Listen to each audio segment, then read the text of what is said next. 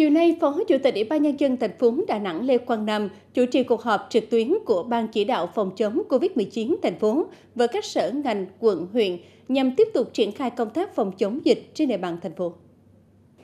Theo báo cáo tại cuộc họp, Đà Nẵng đến nay đã có 142 bệnh nhân COVID-19 được xuất viện, còn 16 trường hợp đang điều trị tại các cơ sở y tế. Tổng số F1 hoàn thành cách ly là 2.576 người. Thành phố cũng đã tiếp nhận và cách ly 131 trường hợp về từ vùng dịch đã hoàn thành xét nghiệm hơn 507.000 người, trong đó có hơn 16.000 mẫu là cán bộ coi thi, giáo viên và học sinh trong kỳ thi tuyển sinh vào lớp 10 vừa qua. Tỷ lệ ứng dụng công nghệ thông tin trong công tác phòng chống dịch như phần mềm Bluezone, hệ thống khai báo y tế điện tử tiếp tục được đẩy mạnh. Tỷ lệ cam kết khai báo y tế và cập nhật mức độ an toàn COVID-19 tại các khu công nghiệp có nhiều tiến triển. Trong ngày chưa ghi nhận trường hợp vi phạm quy định phòng chống dịch, hoạt động của các chốt kiểm soát dịch liên ngành tiếp tục được siết chặt nghiêm ngặt. Nhiều ý kiến đề xuất ra soát hơn nữa công tác phòng chống dịch COVID-19 sau nới lỏng, nhất là tại các quán hàng ăn uống, các nhà hàng lớn, đề xuất thành phố xem xét nới lỏng thêm một số hoạt động thiết yếu khác, có phương án mở giãn cách đối với các chợ trên địa bàn.